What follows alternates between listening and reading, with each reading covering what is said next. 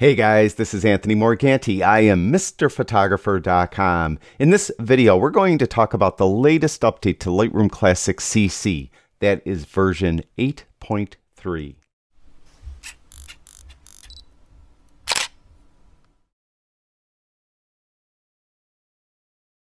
Real quick, many of you know that I sell Lightroom presets and profiles. In the description below this video will be an email address. If you email me, I'll give you a promo code so you can get the Lightroom presets and or profiles for 50% off. Okay, today Adobe updated Lightroom to version 8.3 and they did of course the normal bug fixes and they added some more camera info and lens info to the program. But they did add two features that I want to talk about. The first one I'm just going to mention, and it's called flat field correction. And what happens often with some lenses, you may get a color cast because of the lens, or you may get some color vignetting because of the lens. And if you do encounter that with the latest version of Lightroom, you'll be able to correct it. Now, it does require that you take a reference photo, and usually you would take a reference photo uh, through a diffuser of, of a diffuser, a white diffusing sheet or a diffusing piece of plastic. So basically, you keep the same exact lighting conditions you had, and you would take then a photo of this white diffuser and then what you would do is you would go to the library module of Lightroom and you would select all the images that are involved. So you select either the, the first image or the last image has to be that calibration image.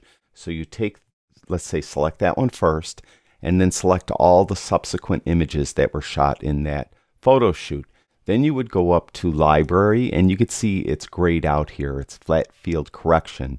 That's because I don't have more than one image selected. So as soon as I select that calibration uh, image, and then select another image, it would be active. And then when you do that, um, a dialog box will come up and we'll be able to uh, remove the color cast or remove the vignette and uh, correct lighting issues that might have been caused by your lens. Now, in a future video, I will demonstrate this new feature of Lightroom a little more thoroughly. I just don't have a calibrated image to demonstrate it right now, but I will do that. What I do want to talk about is the second thing they added to Lightroom, and it's over in the Develop module, and it's a new slider. It's under the Basic tab. It's also under the Graduated Filter, Radial Filter, and Brush. And it's called Texture, and it's in this Presence section. And it's really kind of similar to clarity. Uh, when I go to this texture slider, now look at the wood around the uh, horse. As I move it to the right, you can see it's enhancing the grain of the wood. If I go to the left, it's going to soften the image, as you can see. Now that, of course, is very similar to clarity. You see, as I move clarity to the right, it just seems like a more heavy-handed version of the texture filter, doesn't it? So when I move from clarity from 0 to plus 100, that's what we get. And if I move texture from 0 to plus 100, that's what we get. So it's, it's really similar in many uh, aspects to clarity, uh, just not as uh, heavy-handed. Now, where it will, I think, come into more use possibly is when you're doing portraiture and you want to soften skin. And I'll zoom in on this uh, image and you could see the it's an unprocessed photo. And if I go to the texture slider, now of course we don't want to move this to the right. It's going to enhance her pores. We want to move it to the left. And you can see it just really kind of blurs out the skin. Uh, really, and that is really kind of what clarity does as well. You know, just clarity again just does it a little bit more. So, in my opinion, this is just my opinion, don't send me hate mail but it is my opinion. I don't think the texture slider is really that significant of a feature. It really doesn't separate itself that much from clarity. Now, in an instance like this, you're really not going to want to use the global adjust uh, global texture slider that's in the basic tab because it will soften everything. You can see it softening her hair and her her top, everything. We don't want to do that, right? So we're probably in this instance going to use the brush. And in this case, you could see the texture slider is right here. And then you could come in with a brush and you could brush in this adjustment on her skin to soften her skin. Now, I haven't been able to play with it too much. Of course, when you're doing this, you're going to want to avoid her lips, her eyes, her hair, her eyebrows, even her eyelashes. You want to keep those as sharp as possible. I haven't played around with it too much. Now I'm just going to do her face. Of course, you probably want to do her neck and her shoulders and such too.